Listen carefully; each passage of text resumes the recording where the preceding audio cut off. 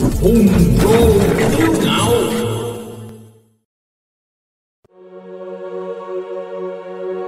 hỏi trên thế gian vợ là gì mà khiến nam tử khốn đốn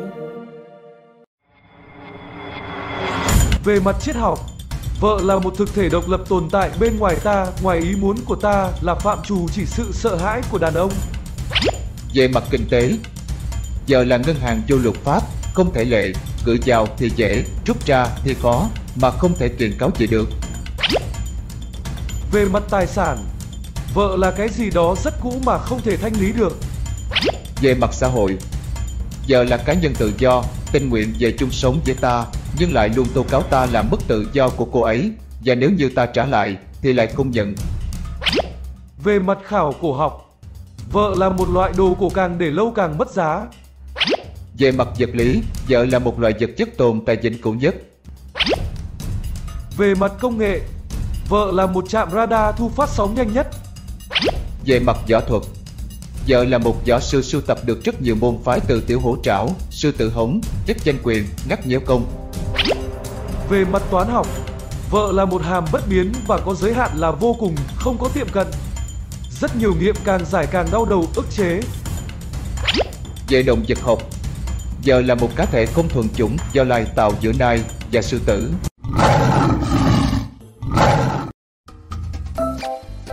Một nhà khoa học tánh tình hay đa nghi nên ông ta chế tạo ra robot phát hiện nói dối. Ngày chế tạo thành công, ông đem ra thử con trai. Cậu con trai vừa đi học về ông ta đem robot ra hỏi. Sao con đi học về trễ vậy? Con qua nhà bạn mượn sách về học. Robot phát hiện nói dối, đánh cho cậu con trai một cái. Sao kìa? Ông bố cười. Đó con thấy chưa? Nói dối là phải chịu phạt. Lúc bằng tuổi con, bố chẳng dám nói dối ông nội nửa lời. Sao kìa? Ngay lập tức, robot đạp ông ta một cái bay vô tường. Người vợ thấy cậu con trai bị đánh đòn đau bèn nói. Sao anh làm vậy với con? Dù sao, nó cũng là con anh mà. Sao kìa? Robot nắm đầu bà vợ, đánh túi bụi. Sao kìa? Sao kìa? Sao kìa? Sao kìa? Sao kìa? Sao kìa? Có một cuộc thi bơi qua dòng sông toàn cá sấu, ai bơi qua mà vẫn sống thì được thưởng 10 tỷ. Rất đông người đứng trên bờ nhưng không ai dám tham gia. Chờ mãi rồi cũng nghe ủ một phát. Có một người đàn ông nhảy xuống bơi. Nhìn anh ta vật lộn dưới dòng sông và bị cá sấu đuổi vô cùng thảm thương, mặt mũi tái xanh cắt không còn giọt máu. Nhưng may thay anh ta bơi rất nhanh và cuối cùng thì cũng sang bờ bên kia an toàn. Anh có thể chia sẻ một chút bí quyết của sự can đảm được không ạ? can đảm kiểu móc quá tao đang đứng tự nhiên có thằng nào nó đạp tao xuống à Vậy sao anh không leo lên bờ trở lại? Bụng mày tưởng tao ngu lắm hả tao leo lên bờ cho nó đạp tao nữa hả tao mà biết thằng nào đạp tao á nha Vợ anh ta đứng bên cạnh thì thầm. Em đạp ơi. Các bạn thấy không, đằng sau sự thành công của người đàn ông luôn có bóng dáng của người phụ nữ.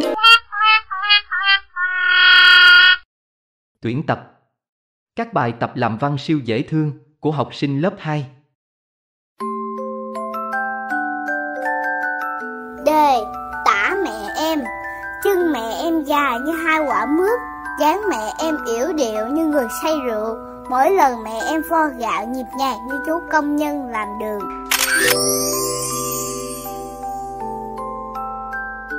Đề, Miêu tả về bố. Bài 1 Bố em có một hàm răng vàng. Hàm răng vàng luôn chỉ bảo em những điều hay lẽ phải. Bài 2 Nhà em có nhiều người nhưng em yêu bố nhất. Bố em 43 tuổi, Bố rất cao lớn, Mỗi lần bố ôm em Em chìm trong bóng tối. Bài 3 Bố em là người em yêu quý nhất. Bố em phải làm việc vất vả Mỗi tháng. Bố em phải nộp cho mẹ em tiền lương Để mẹ em nấu cơm cho mà ăn.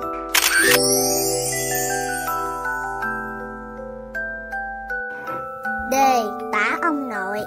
Nhà em có nuôi một ông nội. Ông nội suốt ngày chẳng làm gì cả, Chỉ chùm chăn ngủ. Đến bữa ăn, ông ló đầu ra hỏi, Cơm chín chưa bay?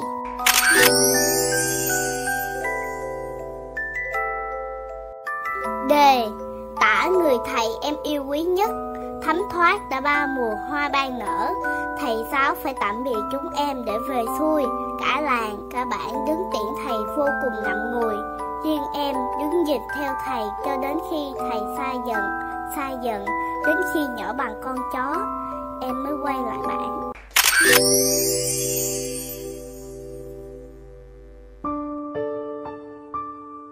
Lời hay, ý đẹp.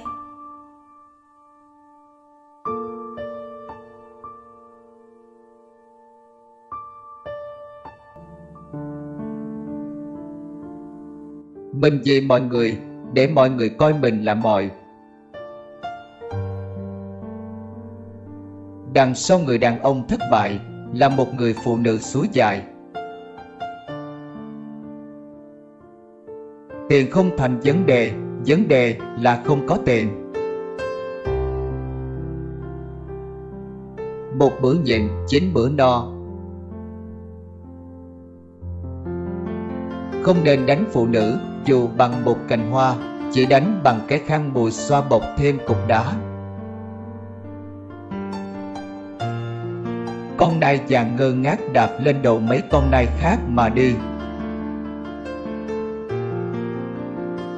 Đánh kẻ chạy đi, chưa ai đánh người chạy trọt. Cái nết đánh chết cái đẹp, cái đẹp đánh xẹp cái túi. Không có người phụ nữ xấu, chỉ có người phụ nữ không biết mình xấu mà thôi. Người đi, một nửa hồn tôi chết, một nửa hồn kia đứng chữ thề.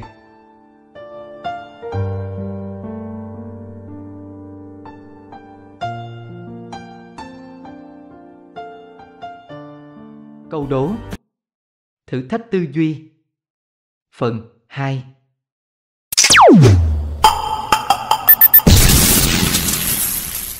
Câu 1 Bố mẹ có 6 người con trai, mỗi người con trai có một em gái. Hỏi gia đình đó có bao nhiêu anh chị em?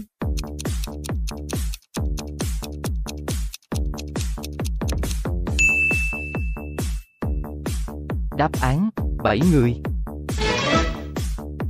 Câu 2 Một cây cầu có trọng tải là 10 tấn có nghĩa là vượt quá 10 tấn cây cầu sẽ sập. Một xe tải nặng 8 tấn cộng thêm 4 tấn hàng hóa tổng cộng là 12 tấn. Vậy hỏi làm sao bác tài qua được cầu mà không được bớt hàng hóa xuống xe?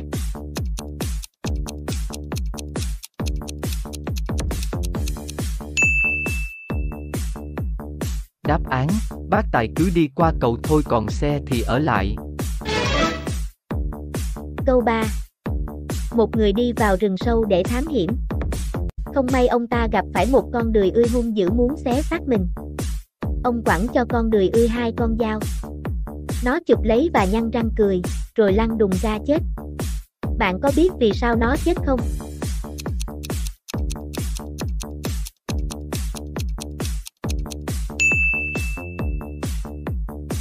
Đáp án, con đười ươi khi cười thì luôn đấm ngực mà nó đang cầm dao thì bạn hiểu vì sao nó chết rồi đấy. Câu 4 Vào một ngày trời không trăng, không sao. Một chiếc xe lao đi với tốc độ 180 km trên giờ. Giữa đường lại có một người đàn ông da đen say rượu nằm ngủ Mà đèn đường hai bên lại đang tắt. Nhưng người tài xế vẫn tránh được người đàn ông đó một cách dễ dàng hỏi tại sao.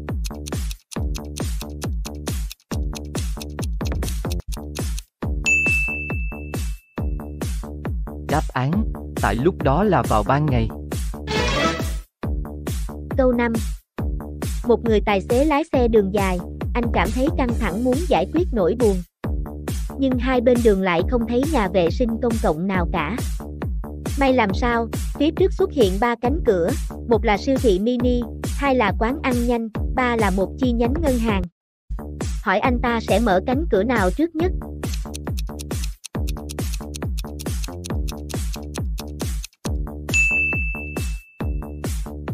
Đáp án, mở cửa xe. Câu 6 Có một chiếc tàu chạy từ đông sang tây. Đến nửa đường thì ngoặt qua hướng bắc rồi lại quay ngược lại hướng nam. Hỏi khói tàu sẽ theo hướng nào?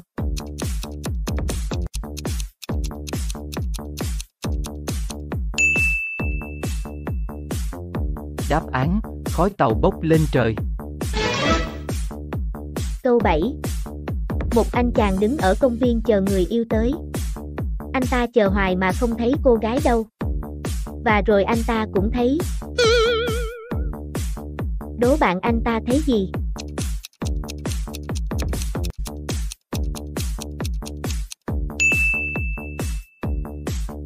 Đáp án, thấy mỏi chân. Câu 8 Có hai đứa bé gái giống nhau như đúc Cùng được một bà mẹ đưa đến trường. Nhưng chúng không phải là chị em sinh đôi. Bạn lý giải điều này thế nào?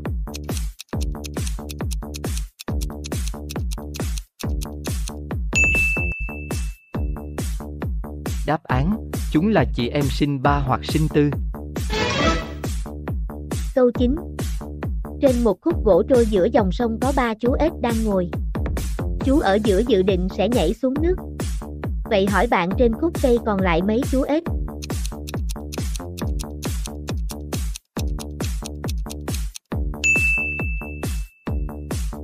Đáp án, vẫn ba chú ếch. Vì chú ở giữa chỉ mới dự định nhảy xuống thôi. Câu 10 Bạn thử tưởng tượng, nếu bạn ngồi trên một chiếc thuyền trôi giữa dòng sông đầy cá sấu, mà chiếc thuyền của bạn lại sắp bị chìm. Bạn sẽ làm sao để thoát khỏi tình huống nguy hiểm đó?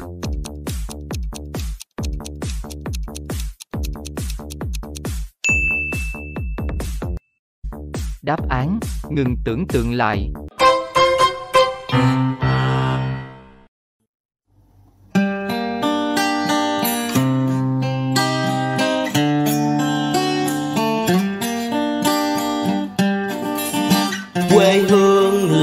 Chung chùm khế ngọt.